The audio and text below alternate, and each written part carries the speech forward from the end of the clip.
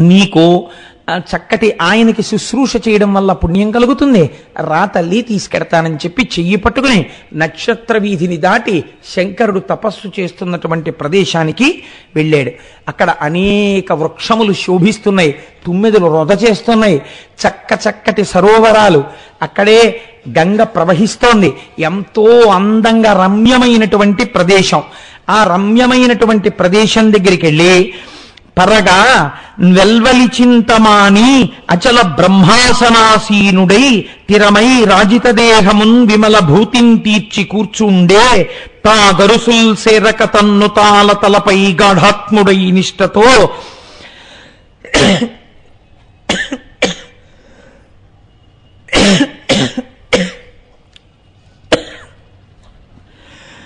హరుడయ్యోగ సమాధిమై దవిలి నిత్యానందుడై ఉండగా అక్కడికి వెళ్ళి శంకరుడి యొక్క దర్శనం చేసేసరికి పరగన్ వెల్వలి చింతమానియచల బ్రహ్మాసనాసీనుడై బ్రహ్మాసనం వేసుకుని కూర్చున్నవాడై తల మీద చంద్రవంక ప్రకాశిస్తుండగా అంతర్ముఖుడై యోగ విద్యలో తనలో తాను రమిస్తున్నవాడై బాహ్యమునకు ఏ విధమైన స్పర్శ లేకుండా దేన్ని చూడకుండా అన్నిటినీ లోపలికి మడిచేసి మడిచేయడం అంటే అంతర్ముఖుడైపోయి ఆయన ధ్యానమునందున్నాడు. ఇప్పుడు పార్వతీదేవి వచ్చింది. ఆయనకి తెలియదు. అది శంకరుడంటే. అంతటి ఆనందమగ్గునుడై ఉన్నాడు. చాలామంది తెలిసి తెలియక ఒక మాట చెప్తుంటారు. పార్వతీదేవి కనపడలేదు వెర్రికిపోయి తిరుగుతుండేవాడు శివుడని. అలా ఏం ఉండదు. ఆయనే అలాంటి వెర్రి వేదాలు ఆయనకి ఉండవు. ఆయన ఎలా ఉన్నాడో ఆయన గురించి బాగా తెలుసున్న వాళ్ళు మాట్లాడారు. తెలిసి తెలియని వాళ్ళు ఏం మాట్లాడతారు? కాబట్టి అలా కూర్చుని ఉన్నాడు. ఆనందనిష్టయందున్నటువంటి ఆ పరమాత్మ పార్వతి హిమవంతులు వెళ్ళారు. ఇప్పుడు ఆయన్ని పిలవచ్చా? ఓ శంకరా అని పిలవకూడదు. ధ్యానమునందున్నాడు. ముట్టుకోవచ్చా? ముట్టుకోకూడదు. కాబట్టి ఇద్దరు దూరంగా నిలబడి చేతులు కట్టుకుని ఆయన బహిర్ముఖుడయ్యే వరకు ఎదురు చూస్తున్నారు. చెలువయుతానుగాంచి శివుచేరి భయం పడి కొంత దవ్వులన్ నిలచగిరీంద్రశేఖరుడు నీలగళ్ళుండును అంతలోన బెంపొలయ సమాధిమానికడు నొప్పగ కన్నులు విచ్చి చూచుచో పలిక ధరాధరుండలరి పార్వతికింతగ ప్రీతితోడుతన్ ఆ శంకరుడు ధ్యానమగ్నుడై ఉండగా అరమోట్పు కన్నులతో ఇలా కూర్చుని ధ్యానం చేస్తుంటే ఆయనకి కొంచెం దగ్గరగా నిలబడ్డానికి కూడా భయం వేసిందిట అలా ఉన్నట్టు ఆ ధ్యాననిష్ట. కాబట్టి దగ్గరగా నిలబడలేక దూరంగా వెళ్ళి చేతులు కట్టుకు నిలబడ్డారట. కొంతసేపటికి ఆయన సమాధి స్థితి నుంచి బయటికి వస్తున్నాడు ఆ బయటికి వచ్చేటప్పుడు చాలా మెల్లమెల్లగా మెల్లమెల్లగా బయటికి వస్తారు అంతేకాని ఆ హఠాత్తుగా ఇలా కడివిపేసి "ఆ, ఏమో నైవేద్యం పట్టుకొచ్చాయి అని అనరు. అలా చప్పుడు చేయకూడదు కూడా అసలు ధ్యానంలో ఉండగా. వారు వచ్చేంత వరకు ఏదో కొద్దిగా చా అంత అర్జెంటుగా మాట్లాడవలసి వస్తే అది వారితో ఉండేవారికే తెలుస్తుంది. చాలా తగిలి తగలనటువంటి చాలా సన్నటి సవ్వడితో మెల్లమెల్లగా ధ్యానంలోంచి వారు బయటికి వస్తారో అలా ప్రవర్తించాలి. అది అన్ని వేళలా పనికిరాదు కూడా. అలా చేయకూడదు కూడాను. అది మెల్లగా మెల్లగా మెల్లగా బయటికి రావాలి. ధ్యానంలోంచి బయటికి వచ్చేటప్పుడు కాబట్టి ఆయన మెల్లమెల్లగా మెల్లమెల్లగా కన్నులు మంద్రంగా అలా విప్పి బహిర్ముఖుడయ్యాడు. ఇప్పుడు ఆయనకి తెలిసింది లోకం ఏమిటో.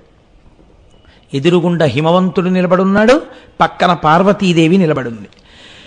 అప్పుడు గబగబా గిరిరాజు తన్ను దగ్గర నరుదించిన మృడచు మృ- మృడగుచు అబ్జదలాక్షిన్ దర్శనము వెట్టి నిలచిన కరుణయు మోదంబు బుట్టే కరకంఠునకున్ గబగబా పార్వతీదేవిని దగ్గరికి తీసుకుని వెళ్ళి ఆయన చూస్తూ ఉండగా ముందేమీ మాట్లాడకుండా ఎందుకు అమ్మవారు పుట్టిందో తెలిసినవాడు కాబట్టి నోటితో చెప్పడానికి భయపడి ముందా పిల్లను అలా నిలబెట్టి తను కూడా పక్కన నించుని చాలా గౌరవంగా శంకరుడికి నమస్కారం చేశాడు. పరమేశ్వరుడు పార్వతీదేవి వంక ఇలా చూశాట. చూసినప్పుడు ఎలా చూశాడో తెలుసా అండి? ఆ ఇంత మర్యాదతో తండ్రితో కలిసి ఆడపిల్ల వచ్చింది. బహుశా నాకు నమస్కారం చేసుకోవడానికి వచ్చి ఉంటుంది. ఇప్పుడు అలా నమస్కారం చేసి ఆశీర్వచనం చే- తీసుకోవడానికి ఒక ఆడపిల్ల వచ్చింది అనుకోండి పాపపు దృష్టితో చూడొచ్చా? ఆ పిల్ల ఎంతో పవిత్రంగా నీకు నమస్కారం చేస్తే నువ్వు ఆశీర్వచనం ఇస్తావని వచ్చింది. నువ్వు నీ కూతురు ఎంత వైభవంతో ఉండాలని ఆశీర్వచనం చేస్తావో అంత పెద్ద మనస్సుతో ఆశీర్వచనం చెయ్యాలి. కాబట్టి మోదంబున చాలా సంతోషంగా ఆ పిల్ల వంక తండ్రి వంక అలా చూసేట్టయినా. అంతేకాని పుట్టేశావా పార్వతి? అన్నట్టుగా ఏమైనా చూసినట్టు చెప్పలేదు. మీరు చాలా జాగ్రత్తగా అర్థం చేసుకోండి విషయాన్ని. శంకరుడు అంటే శంకరుడండి. ఇలాంటి ఆయన్ని సంసారంలోకి తీసుకురావాలి. పక్కన భర్తగా కూర్చోపెట్టాలి. What herculean task it is Parvatidevi పొందినటువంటి ఛాలెంజింగ్ టాస్క్ అండి. అమ్మ మన పనుపున ఎంత గొప్ప పని చేసింది నిజంగా తల్లి. కాబట్టి ఇప్పుడు వెళ్ళి అక్కడ నిలబడితే పార్వతీదేవిని చూడగానే ఆ ఎవరో ఆడపిల్ల పాపం ఏదో పెళ్ళ వాళ్ళని వచ్చింది పెళ్ళి అవ్వట్లేదో ఏదో సంబంధాలు దొరకట్లేదేమో. పోన్లో ఏదో పాపం మన ఆశీర్వచనం చేస్తే పెళ్ళి అవుతుందని వచ్చింది. ఏ ఆడపిల్లకైనా జీవితంలో కోరికుంటుంది కదా. పోన్లే మనం ఒక్కసారి నమస్కారం చేద్దాం. ఈ పిల్లకి యోగ్యుడైన వరుడు రావాలని. అనేటట్టు ఏం లేదు ఆవిడ. ఆవిడ ఎలా ఉందో చెప్తున్నారు. కాముని బాణమో కందర్ప దీపమో కాంతిరేఖయో వేల్పు కన్య యొక్కో మెలగడు తీగయో మెరుగుల బొమ్మయో తీరగు బంగారు తీగయొక్కో మోహంపు దీపమో మోహనవార్ధియో లాలిత మోహన లక్ష్మి యొక్కో చిత్తంపు రేఖయో శృంగారముల దోచు రేఖయో పూర్ణేందు రేఖ యొక్క రేఖ యొక్కో అనగా ఒప్పు దాని అభినవ లావణ్య రూప కాంతులందు రూఢికెక్కి బలగచున్నదాని పర్వత కన్యక చూచి వెరగుపడియ సోమధరుడు. ఏ సామాన్యమైన అందం ఏమిటండి? మన్మధుడి బాణానికి స్త్రీ రూపం దొరికితే ఎలా ఉంటుందో అలా ఉందిట. మన్ కందర్ప కందర్ప దీపమో సాక్షాత్ మన్మధుడే స్త్రీ రూపాన్ని పొంది వస్తే ఎలా ఉంటుందో అలా ఉందిట. దేవతల యొక్క కాంత ఎవరైనా వచ్చిందా అన్నట్టుగా ఉందిట. బంగారు తీగ ప్రాణం పోసుకుందా అన్నట్టుగా ఉందిట. అసలు ఈ లోకంలో ఎవడైనా ఆవిడ వంక చూసిన తర్వాత మోహాన్ని పొందకుండా ఉండలేడు పురుషుడు అన్నవాడు అలా ఉందిట. అటువంటి తల్లి ఎదురుగుండా వచ్చి నిలబడితే చిత్రం ఏమిటో తెలుసా అండి? ఆయన అలా పార్వతీదేవిని చూస్తూ లేడుట. ఆవిడ వంక హిమవంతుడి వంక చూసి ఒకందుకు వెరగపడ్డట దీనికి నీవు పర్వతరాజువా? ఇంత చక్కటి పిల్ల నువ్వు ధన్యుడవయ్యావు తండ్రిగా చక్కటి కూతుర్ని కన్నావు. ఎంత సుగుణాల రాసి ఒక్క మాట మాట్లాడలేదు. తండ్రి వెనక అలా నిలబడింది నమస్కారం చేస్తూ శహభాష్ అన్నట్టు చూశాడు అంతే అంతవరకే. ఏమి శంకరుడండి? నిజంగా శంకరుడు లాంటి పరమాత్మ అటువంటి వ్యక్తి అటువంటి అసలు ఆ అటువంటి పరబ్రహ్మం ఏమి ఆశ్చర్యకరం. ఆవిడ చూసింది శంకరుణ్ణి. ఆవిడ ఎలా చూసిందో తెలుసా అండి? ఆచపలాక్షి చిత్తముననయ్యు అయ్యురగాధిప బహుకంకణం చూచుచునుండగాని మరి చూచిన చూపు మర్పలలేమి నింజూచి మహీద్ధవల్లభుడు శూలికి మ్రొక్కగదమ్మ బాలికా చూచదుగాని నీవనుచు సుందరి మ్రొక్కగ బంచి వేట్కతో ఆ తల్లి యవ్వనంలోకి వచ్చినప్పటి నుంచి శివుడి భార్య అవ్వాలి శివుడి భార్య అవ్వాలి శివుడి భార్య అవ్వాలి అనుకుంటున్నది కదండి. ఆవిడ మాత్రం శంకరుణ్ణి ఇలా చూసింది కన్నులు తిప్పుకోలేకపోయింది అంటే ఇంత అందగత్య అని చెప్పబడినటువంటి తల్లి ఒక సీసపద్యం అంతా ఆవిడ అందం చెప్తే ఈవిడ కన్ను తిప్పుకోలేని అందగాడు ఆయన ఎంత అందగాడో మీరు చూడండి. అందుకే కోటి సూర్య ప్రతీకాశం సర్వావయవ సౌందరం అని పొగిడింది మహాపురాణం కోటి సూర్యులు ఉదయించినట్టుంటాడు అంత అందంగా. ఆయన వంక చూస్తూ ప్రత్యేకం ఆవిడ దేన్ని చూస్తూ ఉండిపోయిందోట తెలుసా అండి? ఆయన కుడి చేతి వంక చూస్తూ ఆ చేతికున్న పావుని చూస్తూ ఉండిపోయిందిట. ఎందుకు అలా చూడ్డం? ఈ చెయ్యి తొందరలో నా చెయ్యి పట్టుకోవాలి. ఈ చెయ్యి తొందరలో నా మెడలో తాళి కట్టాలి. ఈ చెయ్యి తొందరలో ఆదివారం వచ్చేస్తే జీలకర్ర బెల్లం పెట్టేయాలి. ఇది ఆవిడ తాపత్రయం. ఈ చెయ్యి లోకరక్షణ హేతు. ఈ చేతి చిటికిన వేలితో నా చిటికిన వేలు పట్టుకోవాలి. అందుకోసం కదా ఈయనకి భార్యగా ఎడమ తొడ మీద కూర్చునే అదృష్టం దాక్షాయిణిగా ఇష్టపడక ఆయన కూతురుగా ఉండడం ఇష్టం లేక వదిలి ఈ శరీరంతో వచ్చాను. అని ఎంత తొందరగా ఆయనలో కలిసిపోతానా అని అలా చూస్తోందిట శంకరుణ్ణి అమ్మవారు. ఇలా చూసేట హిమవంతుడు బాగుండదు ఆయన చూస్తే ఏమిటి? చూపు అంటుకుంటాడేమో అని అమ్మా చూద్దు గానివి అన్నట్ట. ఇంకెంతకన్నా ఏమంటాడు తండ్రి? తెలుసు ఆయనకి భార్య కావలసిన పిల్ల అని అంతకన్నా అనడానికి భయం పరమాత్మతోటి. ఎంత మర్యాద పాటించాడండి? తండ్రితనం అంటే అది. కూతురికి మర్యాద నేర్పినవాడు తండ్రి అంతేకాని కూతుర్ని రెచ్చగొట్టినవాడు కూతురికి నడువడి నేర్పనివాడు తండ్రి ఎందుకు అవుతాడండి? కాబట్టి ఆయన అమ్మా నమస్కరించు చూద్దువు గాని విశంకరుణ్ణి అన్నాడు. అంటే అది ఎలా ఉంది? అమ్మో ఆయన అంత గొప్పగా ఉన్నాడు మహానుభావుడని తెల్లబోతున్నావా పిల్ల? మొదటిసారి చూడ్డం కదా ఇటువంటి తపస్విని. ఆయన తేజస్సుకు ఆశ్చర్యపోతున్నావా? అమ్మా చూద్దు గానిలే ముందు నమస్కారం చేయాలి చూడగానే అని చెప్పినట్టుంది. ఎంత గొప్పగా మాట్లాడాడండి. అంటే అని ఇప్పుడు పిల్లని చూడమని పిల్లని నమస్కారం చేయమని తాను చేయకుండా ఉండొచ్చు హిమవంతుడు ఆవిడ ఆడపిల్ల కాబట్టి నోట మాట రాలేదు. తను జయ జయ శ్రీగిరి మందిర జయ జయ మందారహారస లలిత వర్ణ జయ జయ భువనాధీశ్వర జయ జయ యోగీంద్ర పారిజాత మహేష జయ జయ హాలాధర జయ జయ దేవేంద్ర కమల సంభవ వినుత జయ జయ పన్నగ కంకణ జయ జయ గంగావతంస జయ చంద్రధరా కుసుమ కుసుమదానంబులు కోమలి తన మౌళి పెట్టదు నీ మౌళి పెట్టి కాని గజరాజని భయాన గంధంబు తన మేన నలచదు నీ మేన నలది కాని రాజీవదళ నేత్ర రత్న కంకణములు తొడగదు నీ కేల తొడిగి కాని పుష్కరానన పట్టు పుట్టంబు కట్టదు కడకతో నీకటి కట్టి కాని మహితలోల నేత్ర మాటాడదెప్పుడు కొంచెమే ని నిన్ను కోరికాని ఇంత పిదప నిప్పుడేమియు నల్లదు నిన్నె కాని దేవ నిశ్చయంబు అన్నాడు. ఎటువంటి జయ జయధ్వానం చేశాడో చూడండి. ఆ శంకరుణ్ణి చూసి నమస్కారం చేస్తూ జయ జయ శ్రీగిరి మందిర జయ జయ మందారహార సులలిత వర్ణ అని జయశబ్దం చేసి అప్పుడు శంకరుణ్ణి అడుగుతున్నాడు అయ్యా నేను ఒక్క కోరికతో వచ్చాను. ఈమె నా కుమార్తె. మీ వంటి మహాపురుషుడి యొక్క సేవ చేయడం కోసం తీసుకొచ్చాను. ఏమి సేవ చేస్తుందయా తపస్సు చేసుకునేవాడికి ఆడపిల్ల ప్రతిబంధకం యవనంలో ఉన్నది. నాకెందుకు ఆమె సేవ? అంటావేమో తండ్రి ముందే చెప్పేస్తున్నాడు. ఏమిటో తెలుసా సేవ అంటే? నీకు చేసే సేవ? కుసుమదామంబులు కోమలి తన మౌళి పెట్టదు నీ మౌళి పెట్టి కాని మా పిల్ల నువ్వు తపస్సు చేసుకోవడానికి సిద్ధపడుతుండగా పుష్పార్చన చేస్తుంది. మా పిల్ల కొప్పులో పూలు పెట్టుకోదు నీ కొప్పులో పూలు పెట్టాక కానీ. కాబట్టి నీకు పుష్పార్చన చేస్తుంది. గజరాజని భయాన గంధంబుతనమే తన నలచదు నీమే నలది కాని. ఏనుగు నడిచినప్పుడు ఎంత అందంగా ఉంటుందో అంత అందమైన నడకలున్న నా కుమార్తె అన్యాపదేశంగా ఈమె నీ సొత్తని చెప్తున్నాడు. గంధం తన ఒంటికి రాసుకోదు. నీ ఒంటికి రాసిన తరువాత కానీ. కాబట్టి నీకు గంధార్చన చేస్తుంది. రాజీవదళ రత్న కంకణములు తొడగదు నీకేల తొడిగి కాని. రోజు నీకు హస్తార్చన కింద చేతికి కంకణం వేసి తన కంకణాలు వేసుకుంటుంది. పుష్కరానన పట్టు పుట్టంబు కట్టదు కడకతో నీ కటి కట్టి కాని. నా కుమార్తె పట్టుపుట్టం కట్టుకోదు. నారచీరతో వచ్చి నీకు పట్టుపుట్టాన్ని సమర్పించి తను పట్టుపుట్టం కట్టుకుంటుంది. మహితలో మహితలోలనే నేత్ర కొంచెమే నిన్ను కోరి కాని.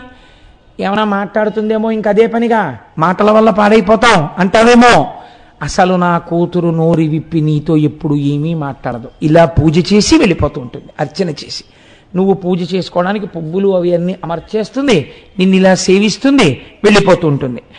ఇంత పిదప నిప్పుడేమి నొల్లదు నిన్నె కాని దేవ నిశ్చయంబు. ఎంత గొప్ప మాట అన్నాడో చూడండి. నా పిల్ల నీకు ఈ సేవలు చేసి ఆ తర్వాత వరాలు అడుగుతుందేమో అనుకుంటున్నావేమో. అలా వరగా వరాలు అడగడం కోసం నా కూతురు నిన్నేమీ సేవ చేయట్లేదు. నీకు సేవ చేయట్లేదు. నా కూతురు కోరిక ఏమిటో తెలుసా? నువ్వే నీకు సేవ చేయడమే. ఎంత గొప్పగా మాట్లాడాడండి ఎంత చమత్కారంగా మాట్లాడండి హిమవంతుడు. మాట మాట్లాడినప్పుడు తండ్రితనం పోకూడదు. కూతురు ఆయన్ని చేరిపోవాలన్న ఆర్తి పాడైపోకూడదు. ఎంత అందంగా మాట్లాడాడో చూడండి. అంటే శంకరుడు అలా చూస్తున్నాడు ఒప్పుకోవడమా వద్దా అన్నట్టు. ఇది శంకరుడు అంటే ఇది ఆయన తపస్సు అంటే. చూడండి. అంటే అప్పుడు హిమవంతుడు వేడుకున్నాడు. పార్వతీదేవి తెల్లబోతోందండి ఇది చూసి ఆయన తపస్సు. అవధా ఈశ్వర విన్నపంబు మదిలోలించి రక్షింపు మీ విదారత్నము పెట్టి పోజతను మీ యొద్ద. భవద్దాసి అయి వర్తన చేయుచుండెడిది ప్రీతిందీని రక్షింపుడి. అవిరోధంబున లీల పంపి పరిచర్యల్ చాల చేయింపుడి. వద్దనేస్తాడేమోనని ముందర కాళ్ళకో బంధం వేశాడు. అథవా అవధ ఈశ్వర విన్నపంబుబదిలో ఆలించి రక్షింపుమా? నీ మనస్సులో ఒక్కసారి నేను చేస్తున్నటువంటి అభ్యర్థనని బాగా ఆలకించి నన్ను రక్షించు తండ్రి. ఈ పిల్లని నీ దగ్గర పెట్టి నేను వెళ్ళిపోతున్నాను.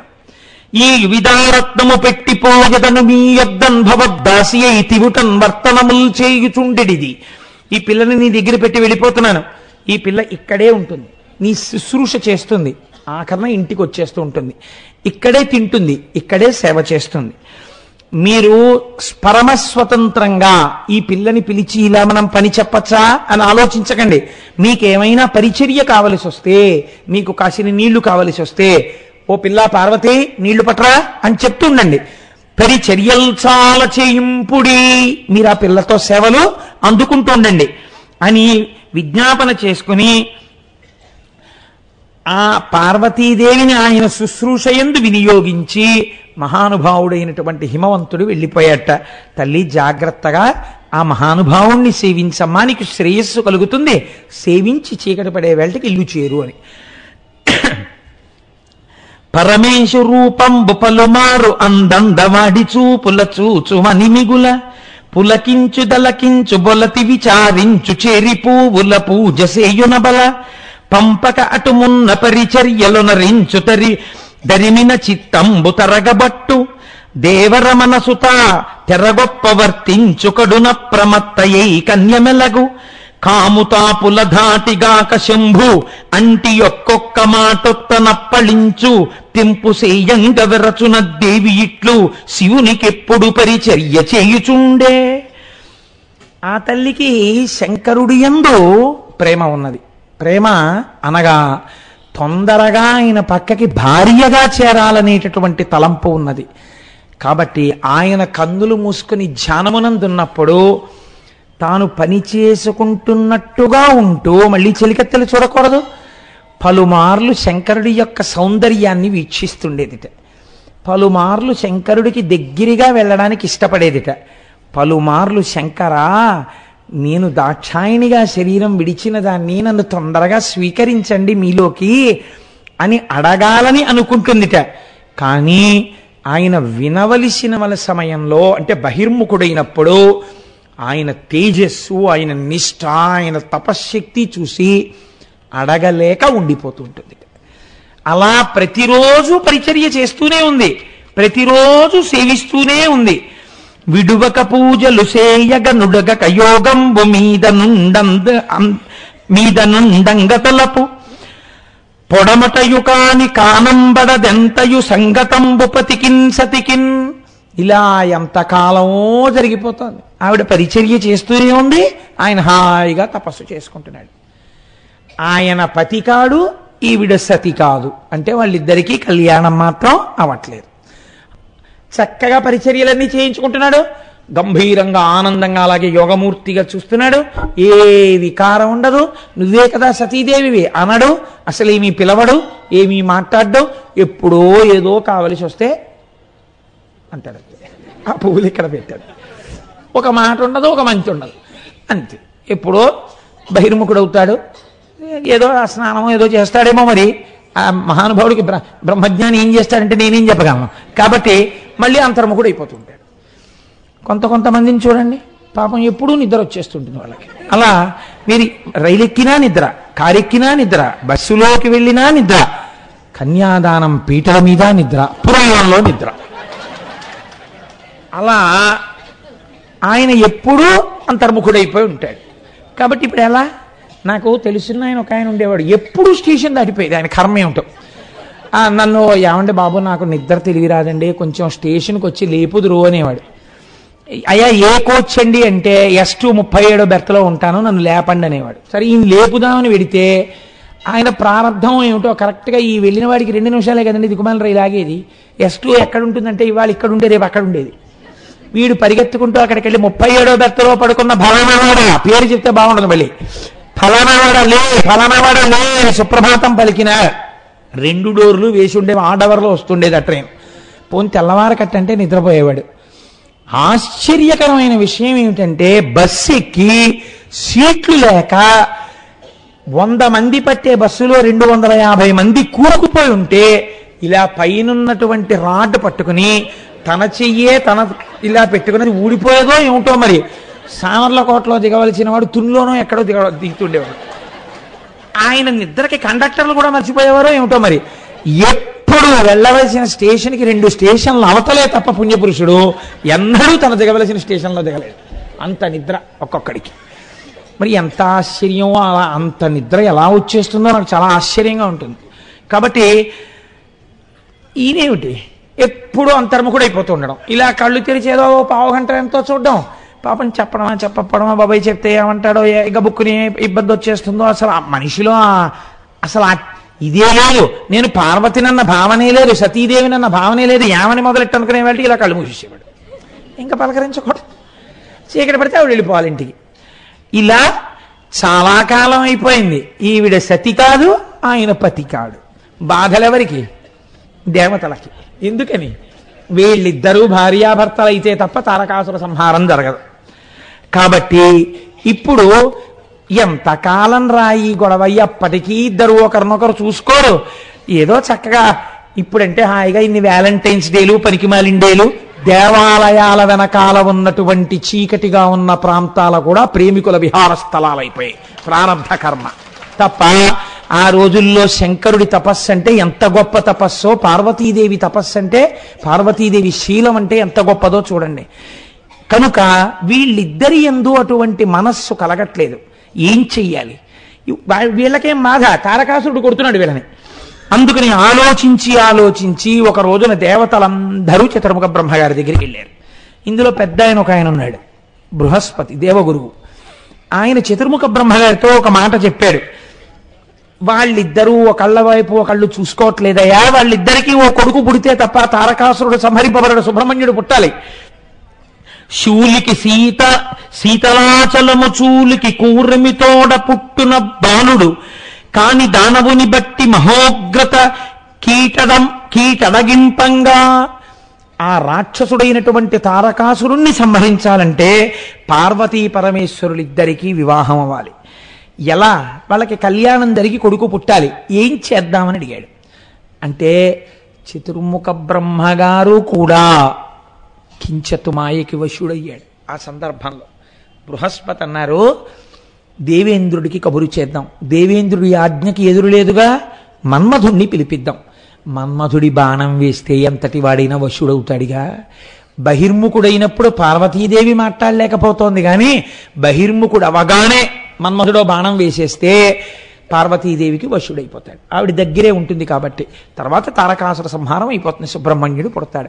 అంత లేఖితనంగా లెక్క కట్టారు వాళ్ళు శంకరుణ్ణి. ఏ మహానుభావుడిచ్చిన వరంతో మన్మధుడి పని చేయగలడో ఆ మన్మధుడు బాణం వేసేస్తే తమకంతో పార్వతీదేవిని చూసేవాడు. అది వాళ్ళ దృష్టి. కాబట్టి ఇప్పుడు మన్మధుణ్ణి పిలిపించాలి. ఎటువంటి మన్మధుడు? అంటే భాసిల్ల పువ్వుల బాణ పంక్తుల వాణి కొమరారు కిందం మిగొడుగు కలహంస శారికా కలకంఠముల వాణి వెలుగొందు తీయని వింటివాణి మందానిలలా మమద భంగముల వాణి తెరగొప్పు పువ్వుల తెరువాణి. పలుమీను టెక్కంబు పడగనొప్పెడు వాని ఆమని సారథి అయిన వాణి. అందమైన వాణి సకల సకలంక శృంగార విభవ లక్ష్మి చేతదలయువాణి మోదవృత్తి వాని మోహనాకృతి వాని కాముతల చనా కథాముడపుడు.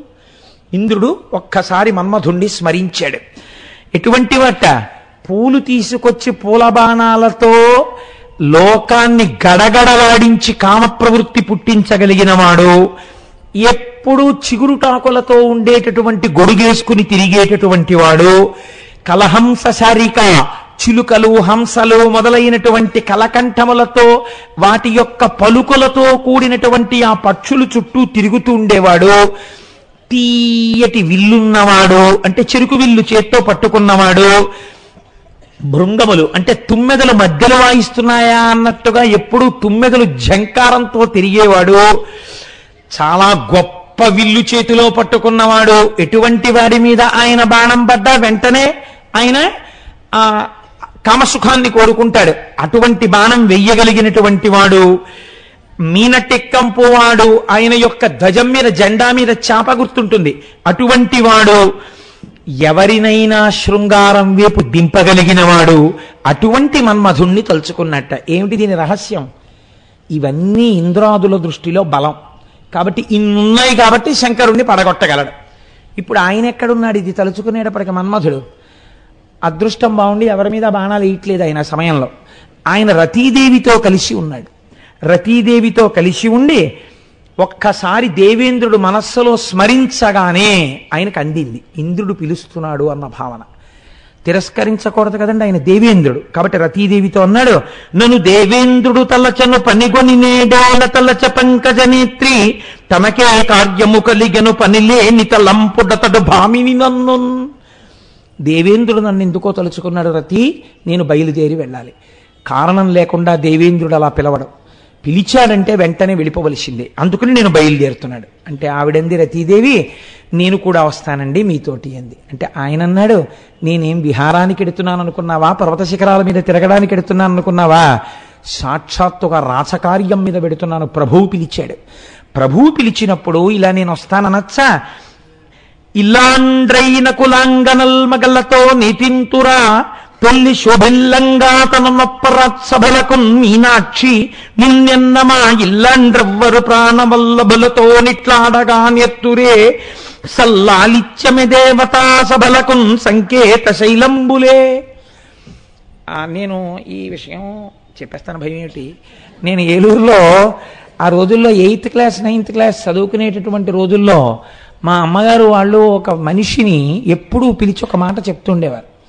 ఆవిడ కొత్తగా పెళ్ళయింది ఆ పక్కన ఉండేటటువంటి రెండు మూడు ఇళ్ళలో ఒక ఇంట్లో కాపరానికి వచ్చారు.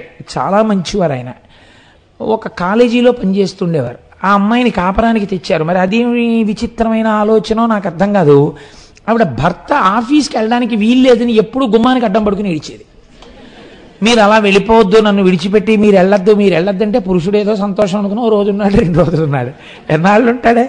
మీరు వెళ్ళొద్దు మీరు వెళ్ళొద్దు మీరు వెడితే నాకు తోచట్లేదు నేను ఉండలేకపోతున్నాను తీసుకెళ్తే నన్ను తీసుకెళ్ళిపోండి అని. రోజు పిల్లాన్ని తీసుకెళ్ళి పక్కన కుర్చీలో కూర్చోబెడితే బాగుంటుంది ఆఫీస్లో. అలా రాకూడదే అని తల పగలగొట్టుకు చెప్పేవాడు. పుట్టింటి వాళ్ళని పిలిపించి చెప్పాడు. పక్కిళ్ళ వాళ్ళతో చెప్పించాడు. అందరికీ చెప్పుకుని ఏడ్చాడు. కొన్నాళ్ళకి ఆయన ఉద్యోగం పోయింది. కారణం ఏంటంటే ఈవిడ వెళ్ళనివ్వదు. వెళ్ళేవాడు కాదు. ఎన్నాళ్ళు చూస్తారు మా ఆవిడ రానివ్వలేదంటే ఉద్యోగం తీసేశారు. అలా మన్మధుడు అంటున్నాడు ఇదేమిటి? ఎక్కడికైనా విహారానికి ఎడుతుంటే నేను వస్తాననొచ్చు. ఏదైనా సంతోషంగా అనుభవించడానికి వెడుతుంటే నేను వస్తాననొచ్చు. రాజు పిలిచినప్పుడు రాజ్యసభకి ఆయన ఆజ్ఞ తెలుసుకోవడానికి ఎడుతుంటే నేను వస్తానని ఏ ఇల్లాలైనా అనొచ్చా? బహుశా ఇలాంటి వాళ్ళు ఉంటారని లోకంలో ఇలాంటి శ్లోకాలు ఇచ్చారేమో ఇలాంటి పద్యాలు. కాబట్టి ఇలా ఎవరైనా అడుగుతారా? అలా రాకూడదు రతి. నువ్వు ఇంట్లో ఉండు. నేను వెళ్ళి విషయం ఏమిటో కనుక్కొని వస్తానని చెప్పి ఆయన బయలుదేరి చక్కగా ఆ దేవేంద్రుడి దగ్గరికి వెళ్ళాడు. వెడితే అబ్బో ఆ ఇంద్రుడి యొక్క లోకం ఎంత అందంగా ఉంటుందో. ఆ దేవేంద్ర లోకాన్నంతటినీ వర్ణన చేస్తారు. ఎక్కడ చూసినా హర్మ్యాలు. ఆ నందనవనం పూల తోటలు అప్సరకాంతలు ఋషులు భోగస్థానాలు. ఓ ఎక్కడ చూసినా సుఖము ఆనందము సుఖము ఆనందమే. అటువంటి చోటికి వెళ్ళి వారి జగర్భుని వరమున తారకుడను దానవుండు తద్దయుకడిమిన్ కారించని కిల జగముల పోరంకడతేరడెట్టి పురుషుల చేతన్. ఇంద్రుడి యొక్క దర్శనం చేసుకుని ఆయన ఇచ్చిన ఉచితాసనం మీద కూర్చున్నాడు. ఇంద్రుడన్నాడు తారకాసురుడన్న రాక్షసుడు ఒకడు పుట్టాడు ఆయనకి బ్రహ్మగారు వరం ఇచ్చారు. ఆయన పార్వతీ పరమేశ్వరుల కొడుకు చేత తప్ప మరణించాడు. కాబట్టి నువ్వు వెళ్ళి పూలబాణములు వెయ్యాలి. పురహరునకు అద్రిజకొను పరగంప భవించు నట్టి బలియుడు. వాణింపరి మార్చు అద్రి కన్యక పురహరునకు కూర్చి కీర్తి పొందుమదనా నువ్వు వెళ్ళి నీ చేతిలో పూణబాల పూలబాణాలు ఉన్నాయి కాబట్టి పరమశివుడి మీద ప్రయోగించి పార్వతీ పరమేశ్వరుల మధ్య అన్యోన్యత కలిగించి వాళ్ళకి కొడుకు పుట్టేటట్టుగా చెయ్యి. దేవతలందరూ ఎంతో సంతోషిస్తారన్నాడు. అంటే మన్మధుడు అన్నాడు ఇది ఎంత పని నీకు ఇందిరా నందన తలపులో పేర్మితలతుగాక? తలచి నీ భుజదండ దర్పంబు శోభిల్లగొనకొని మము వీడు కొందుగాక? కొనిన బలంబులు కొమరారగా కొల్వ భూతేశుపై తండు పోదుగాక? పోయి విజృంభించి పొరినారి సారించి తీపుల విల్లెక్కు తీతుగాక? తిగిచి పువ్వుటమ్ము తెరగొప్ప సంధించి విశ్వనాథు మీద విడుతుగాక విడిచి కలచి నేర్చి విశ్వేశుమృడు కేలి ఏర్పడంగ గిరిచ కితుగాక. ఏమిటయా మన్మధుడు ఈ మాటలు చెప్పేటప్పటికి కొంచెం అదోలా పెట్టాడు మన్మధుడు మొహం. పెట్టేప్పుడు ఏమిటి? అలా చూస్తున్నావేమిటి? ఇదేం పెద్ద పనే? నీతో పాటు వసంతుణ్ణి పంపిస్తాను. నీతో పాటు తుమ్మిదలు వస్తాయి అకాలంగా ఎక్కడ చూసినా వసంత ఋతువు వచ్చేస్తుంది. పెడతావు. చక్కగా ఏముంది? శంకరుడి దగ్గర అలా కూర్చుంటావు ఓ చెట్టు కింద. ఆయన ఎప్పుడో బహిర్ముఖుడు అవుతాడు పార్వతీదేవి అప్పుడు వచ్చి పరిచర్య చేస్తూ ఉంటుంది. అదేం నీ బాణం ఎక్కువ పెట్టినట్టు కనపడుతుంది ఏమిటి? పన్ను నువ్వేం ఎదురుగుండా ఉండక్కర్లేదుగా? ఎక్కడో చాటు నుంచో. ఓ పూల బాణం తీ వింటినారికి సంధించు. ఎక్కువ పెట్టు గురి చూసి ఒక్క బాణం కొట్టు. తగులుతుంది. పార్వతీదేవితో ఆయన అనురాగంలో పడిపోతాడు. నువ్వు సంతోషంగా తిరిగి వచ్చేయి నీకు సన్మాన సభ చేసేస్తాం. ఎందుకంత అలా పడిపోతావు? ఏమిటి అలా చూస్తున్నావు ఏమిటి? హాయిగా బయలుదేరాడు అన్నాడు. అంటే ఆయన అన్నాడు మన్మధుడు ఊహో ఈ పని నన్ను పంపతగవాయుహింప నాకున్ శివద్రోహం బిమ్మెయి చేయుగాతకునై త్రోహంబు కావింపగా ఆహా వద్దని మంపబట్టకిది చేయన్ మీరు పొమ్మందురే మోహాతీతుడు శంభుడాతనికి నే మోహంబు లేదెమ్మెయిన్. అయ్యా ఇంద్ర ఒకవేళ నేను వచ్చి తెలియక నేను వెళ్ళి బాణం వేస్తానండి అంటే మీరేమనాలి? చీ నోర్మొయి శంకరుడి మీద బాణం వేసేంత మొనగాడివా అని నన్ను అనాలి. అలా అనడం అనేసి మోహాతీతుడైనటువంటి శంకరుడి మీద నన్ను బాణాలు ఏమంటున్నారు ఏమిటండి? ఇదేదో నా కొంప ముంచేసే సందర్భంలాగే ఉంది. కొలది లేదు పేర్చి కోపించనేని నీరించివైన శిరము త్రెంచి కాని విడువకున్న బిరుదు విన్నాడ వెన్నాడ అభముజేర వెర తునమరనాథ ఆయనకి కానీ ఎప్పుడైనా కోపం వస్తే ఇంకా ఎవడు ఆ శరీరం మీద ఉన్న తలకాయతో ఉన్నాడో ఆ తలకాయ మారన్నా పోయింది తెగన్నా పడిపోయింది తప్ప అదే తలకాయతో ఉన్నవాడిని నేను చూడలేదు ఇంకా. కాబట్టి ఇది ఎక్కడ కూడా ఉండో నన్ను వెళ్ళమంటున్నారు ఈ తలకాయ ఇలా ఉండడం మీకు ఇష్టం లేదా అని అడిగాడు. అడిగి ఆయన అన్నాడు పైగా ఒక పెద్ద ఇబ్బంది ఉంది మీకు తెలుసా? నేను ఎవరి కొడుకుని? లక్ష్మీనారాయణుల యొక్క కొడుకుని. నేను నిజంగా మన్మధుడి మీద బాణం వేయడానికి వెళ్ళాను అనుకోండి మా నాన్నగారికి తెలిస్తే నువ్వంత మొనగాడివిరా శంకరుడి మీద బాణాలు వేయడానికి అని ఏమంటాడో అని హడిలిపోతున్నానన్నాడు. ఎక్కడున్నాయండి శివకేశవ భేదాలు? అది నిజంగా మన్మధుణ్ణి శంకరుడు కాల్చేసినప్పుడు నారాయణుడు యుద్ధానికి వెళ్ళాలి శివుడి మీదకి. అలా ఉండదు ఒక్క మూర్తి అన్ని రూపాలుగా ఉంటుంది. కాబట్టి చూడండి ఆయన అంటాడు ఇంద్రుడు పుండరీకాక్షుని పుత్రుండనై నేను ఇభచర్మధరుని పైకెట్లు పోదు. పోయిన అద్దేవ భూరి ప్రతాప నిరయంగనా తేజమెందు నిలచు. నిలచిన పరమేశమూర్తియే కనుగొని ఎదురు విజృంభించి ఎట్లు నిల్తు. వచ్చిన మా తండ్రి వావిరి కోపించి ఏ చూపు చూచునో అనచు వెరతు. వెరతునయ్య ఎన్ని విధముల చెప్పిన కొలది కాదు నాక గోచరంబు. నిక్కమివ్విధంబు నియాన దేవేంద్ర మృగకులేంద్రునోర్వ మృగము వశమే అయా పుండరీకాక్షుని పుత్రుండనయ్యుండి ఇభచర్మధరు పైకి ఎట్లు పోదు? నేను శ్రీ మహావిష్ణువు కొడుకుని. వాళ్ళిద్దరూ ఒకటిగా ఉంటారు. నేను ఆయన మీదకెళ్ళి బాణం వేస్తే మా నాన్నగారు ఊరుకుంటారా? శంకరుడు ఊరుకుంటాడేమో కానీ పైగా అన్నిటినీ నిలిచి ఆయన కానీ బహిర్ముఖుడైన తరువాత చేతిలో ఆయన ఇలా ధనస్సు అట్టుకుంటే నేను బాణం పట్టుకున్నాక ఆయన ప్రతాపాగ్ని ముందు నేను నిలబడినా? ఏమిటో నువ్వు చెప్పింది? ఒకవేళ నిల్చున్నాను నించుని పారిపోకుండా యుద్ధం మొదలెట్టాను. ఆయన వెంటనే తీసే అస్త్రం పాశుపతాస్త్రం తీస్తాడు. నా దగ్గరే ఉన్నాయి. బూడిద పూల బాణాలు ఉన్నాయి. ఆ పాశుపతాస్త్రానికి నా పూల బాణం ఎక్కడ నిలబడుతుంది? నిలబడదు. ఒకవేళ నిలబడ్డానయ్యా నిలబడి పూల బాణం వేసేసి గెలిచేసి ఇంటికి వచ్చేసాను. శంకరుడి మీద బాణం వేసి శంకరుడికే మోహం కల్పించి ఇంటికొస్తే నేను గెలిస్తే వచ్చిన మా తండ్రి వావిరి కోపించి ఏ చూపు చూచునో అనచు వెరతు శంకరుడి మీద బాణ ప్రయోగం చేసి గెలిచి ఇంటికొస్తే మా నాన్నగారు నారాయణుడు అసలు నన్ను ఎలా చూస్తాడో అని నేను ఉనికిపోతున్నాను. మా నాన్నగారు ఒప్పుకోరు ఇలాంటి పనులు చేయడానికి. నిక్కమివిధంబు నీయాన దేవేంద్ర మృగ మృగకులేషు నోర్వ మృగముతరమే ఇది నిజం. నువ్వు ఎలా ఉందో తెలుసా నువ్వు చెప్పింది? ఒక దూడని పట్టుకెళ్ళి అదిగో ఆ సింహంతో యుద్ధం చేయని పంపించినట్టుంది. నేనెక్కడా శంకరుడు ఎక్కడా నేను వెళ్ళడం ఏమిటి? ఆయన మీద బాణాలు వేయడం ఏమిటి? చాలా మంది అంటారు పిలిచారు మన్మధుడిని వెంటనే వెళ్ళిపోయాడంటారు. పాపం ఆయన అలా వెళ్ళలేదండి. ఆయన చాలా బెంగ పెట్టుకున్నాడు వెళ్ళడానికి. చాలా బాధపడ్డాడు. భయపడుతూ భయపడుతూ సగం చచ్చి వెళ్ళాడు నిజానికి ఆయన. కాబట్టి ఇప్పుడు ఆయన వెళ్ళలేను వెళ్ళలేనంటుంటే ఇంద్రుడు అన్నాడు ఒప్పని పనికినే పంపను ఒప్పుగా పుష్పాల పూజను నరించుగతిన్. కప్పుము దేవరసిర దేవరసిరమును ఇప్పుడు నీ పుష్పశరములింతే చాలు ఏమిటయా అలా భయపడిపోతావు? అది కూడని పని అయితే నిన్ను నేను పంపిస్తానా? నువ్వు వెళ్ళి ఈశ్వరుడి మీద పుష్పబాణాలు వరుసగా వేసి ఆయన ఏమనుకుంటాడో తెలుసా? పుష్పార్చన చేసేవరా నువ్వు అని పొంగిపోయి పార్వతీదేవితో మోహంలో పడిపోతాడు. కప్పు లోకాధీశ శూలి నిన్ను కనినన్ లోకోపకారార్థియై ఈ కాత్యాయని తన్ను కుర్పతనపై ఎతించి నాడంచుత. ఈ కీడుం తలపోయ కొండనులు గందే జీమాట సిద్ధంబుని కార్యంబవలీలగా నిరుపిమి ఏ పాట కందర్పక?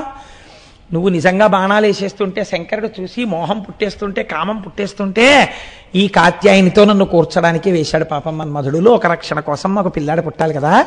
ఈ ఎంత ఉపకారం చేస్తున్నాడో చూడు నా అంత నాకుగా కామం పుట్టింది అనిపించుకోకుండా మన్మధుడు బాణాలు వేశాడు. నా తప్పే ఉందని పార్వతీదేవిని పెళ్ళాడడానికి అవకాశం ఇచ్చాడని మనసులో పొంగిపోతాడయా శంకరుడు. ఇంత లేఖితనంగా కనబడ్డాడు ఇంద్రుడికి శంకరుడు. ఇది ఒక్కొక్కడి పదవిలో ఉన్న ఆలోచనలు అంత గొప్పగా ఉంటాయి. అలాంటి వాడి దగ్గర పనిచేసేవాడు ఎంత ప్రమాదానికి ఎడతాడో చూడండి. అందుకే ఒక ఏబుల్ ఆఫీసర్ కింద పనిచేశానండి అని పొంగిపోతుంటారు ఉద్యోగులు. ఎందుకో తెలుసా అండి? An able officer is always an able officer. It is like an umbrella గొడుగు కింద ఉండడం ఎంత గొప్ప సమర్థుడైన అధికారి కింద ఉండడం అంత గొప్ప. కాబట్టి ఇప్పుడు ఇంద్రుడు ఎగదోశాడు వెళ్ళు వెళ్ళని. పాపం మహానుభావుడు వెళ్ళాడు. కానీ వెడుతున్నాడు కానీ ఆయనకి ఎక్కడో అనుమానం వచ్చేసిందండోయ్. ఏమిటో వెడుతున్నాను కానీ మళ్ళీ తిరిగి వస్తానా? ఎందుకైనా మంచిది. ఒకసారి రతీదేవిని చూసేసి వెళ్ళిపోదామని ఇంటికి వెళ్ళాడు. ఏం అలా ఉందేం మీ మొహం అని అడిగింది ఆవిడ. అడిగితే ఏమీ లేదు. శంకరుడి మీద బాణాలు ఏమన్నాడు? ఇంద్రుడు బయలుదేరుతున్నాను యుద్ధానికి అన్నాడు. ఆవిడ వెంటనే స్పృహ తప్పి కింద పడిపోయింది. రతీదేవి అది విచిత్రం. నేను అబద్ధం చెప్పట్లేదు. నేను మీకు పరమ యథార్థం చెప్తున్నాను. ఎన్ని పద్యాలని చదవను ఆదివారానికి కళ్యాణం వస్తోందని కొన్ని పద్యాలు వదిలేస్తున్నాను. మనసు ఒప్పకపోయినా. నిజంగా పద్యాలు తేనెపట్లు. ఆయన స్పృహ తప్పిపోయినటువంటి రతీదేవి మళ్ళీ స్పృహ పొందిన తరువాత దేనికంత బెంగ పెట్టుకున్నావు అని అడిగాడు. అడిగితే ఆవిడండి నిఖిల ప్రపంచంబు నిర్మించి శోభిల్లు పరమేష్టి కంటే నీ బలము బలమే. మూడు వేల్పుల బట్టి మూలకు జొనిపిన కరివైరి కంటే నీ వెర్రపు వెర్రవే. ఘనభీకరాతోపకలితుడై కలితుడై త్వర్తిల్లు లయకాలు కంటే నీలావులావే కల దైవముల నెల్ల ఖండించి మించిన ఎంతకు కంటెని అరుదు అరుదే ఎట్టి గనులను బట్టి ఎనరంగతల కొనివి తెచ్చి విరిచి త్రుంచి వచ్చినాడు. వలదు శంభుతోడ వైరంబు మన్మధ ఉరకుండి వచ్చు వారుగలరే ఎవరితో పెడుతున్నావో తెలుసా యుద్ధానికి? ఈ సకల ప్రపంచాన్ని నిర్మించినవాడు నిర్వహించినవాడు లయం చేయగలిగినవాడు. మూడు కన్నులున్నవాడు ఎవరినైనా పడగొట్టగలిగినవాడు భయంకరమైనటువంటి పటాటోపంతో ఎవ్వరూ ఓడించలేకపోయిన గజాసురుడి తోలు ఒలిచి కట్టుకున్నవాడు. కలులైన దైవములను కూడా ఖండించగలిగినటువంటి యమధర్మరాజు యొక్క గుండెల మీద తన్ని చంపినటువంటి వాడు. ఒకసారి ఆయనతో యుద్ధానికి వెడితే మామూలుగా చంపడం కాదు పట్టి విరిచి త్రుంచి తలలు తెగకోసినవాడు అటువంటి రుద్ర స్వభావం ఉన్నవాడు. ఆయన జోలికి పరమ అనవసరంగా వెళ్ళకుండా భక్తితో నిలబడిన వాడిని కౌగిలించుకుని కాపాడే స్వభావం ఉన్నవాడు. ఆయన శక్తితో నీ శక్తి సమానమా? నీకున్న ఐదు బాణాలతో యుద్ధమా? వెళ్ళకు వెళ్ళకు.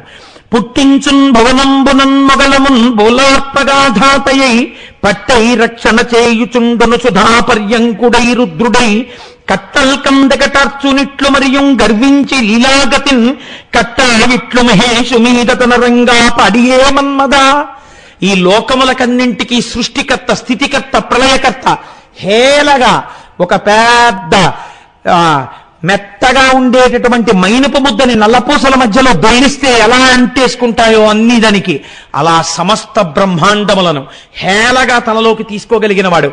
ఆయన శక్తి ఏమిటి? నీ శక్తి ఏమిటి? నువ్వు బాణం వేయడం ఏమిటి? ఎందుకొచ్చిన ఆలోచనలు భూకాంత తేరునో పువ్వుల తేరునో నిర్జర సుఖభటుల్ నీ కిరభటులు? ఎంత గొప్పగా చెప్పిందండి నిజంగా రతీదేవి. మెరుపులు మిరిసేయండి వాంగ్మయంలో కొంతమంది స్త్రీలు రామాయణంలో తార సీతమ్మ మండోదరి శివమహాపురాణంలో రతీదేవి.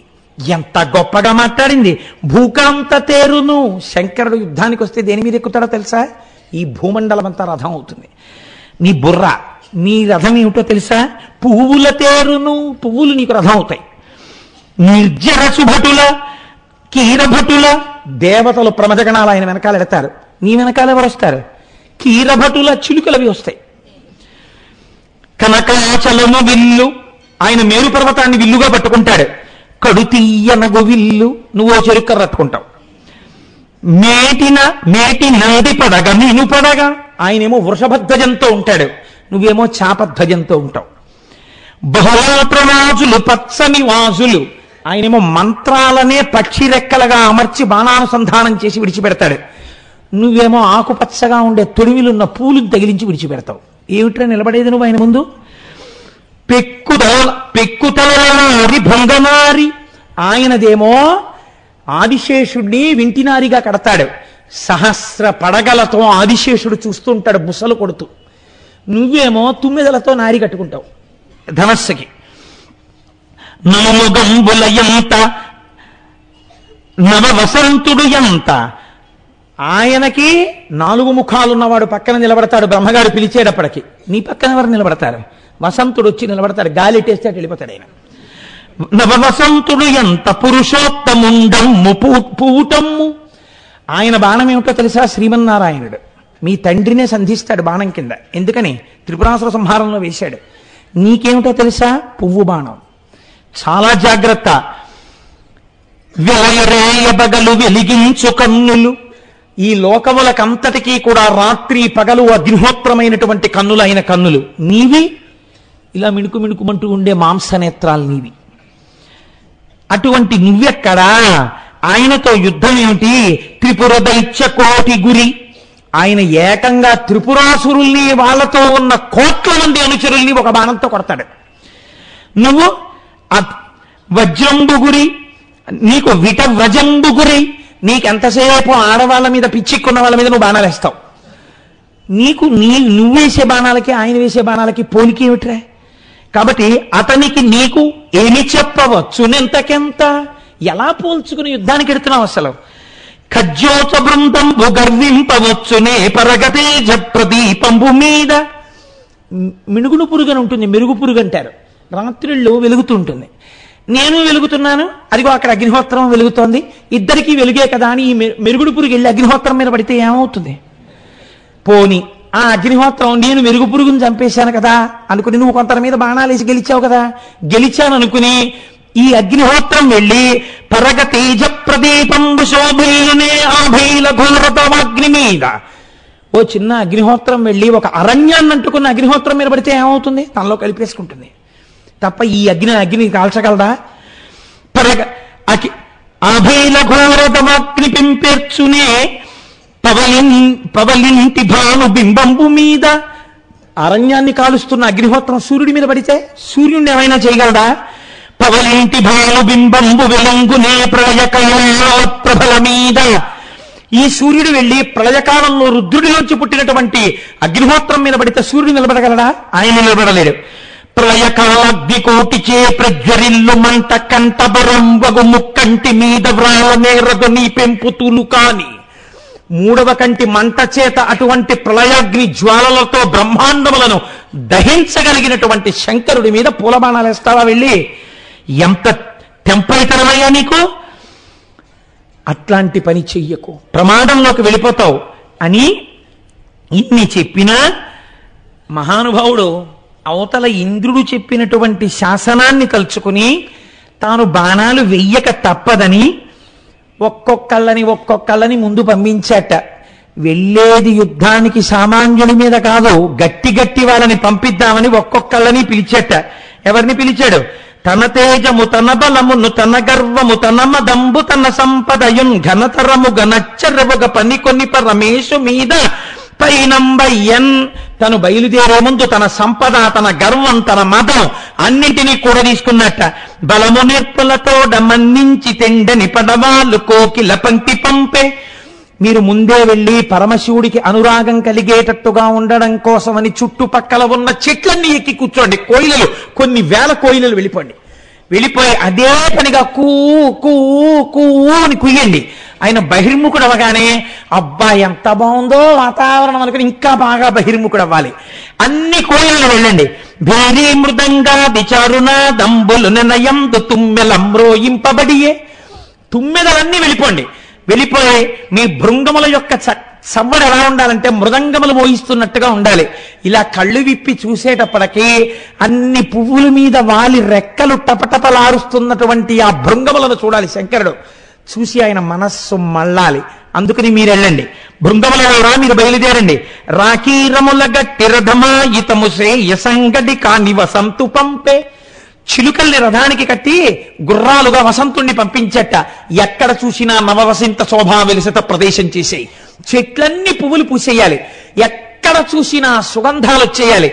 చక్కగా మెల్లగా నదులు పారుతూ ఉండాలి. చెట్ల మీద పక్షులు కూర్చుని మైథునంతో ఉండాలి. పశువులు పక్షులు అన్ని అదే వాతావరణంతో ఉండాలి. శంకరుడు కళ్ళు విప్పి ఎటు చూసినా ఆయన దృష్టి స్త్రీ పట్ల అనురక్తమయ్యేండేటట్టుగా చెయ్యాలి. అందుకని వసంతుడా నువ్వు బయలుదేరన్నట్ట అని వెళ్ళాడు. మహనీయ మగుచున్న మన బలంబుల నెల్లగమనింపుమని కమ్మ గాలి పంపే. గాలిని పంపించాట. నువ్వేం చేస్తావో తెలుసా? మన బలాలన్నింటినీ జాగ్రత్తగా చూస్తూ ఉండు. అన్ని సిద్ధంగా ఉంటాయి కదా. కార్యకర్తలారా జాగ్రత్త. అంటారు చూస్తారా అలా? నువ్వేం చేయాలి గబగబా శంకరుడు ఇలా విప్పుతుంటే కళ్ళు నీకు తెలుస్తుంది. అనాలి.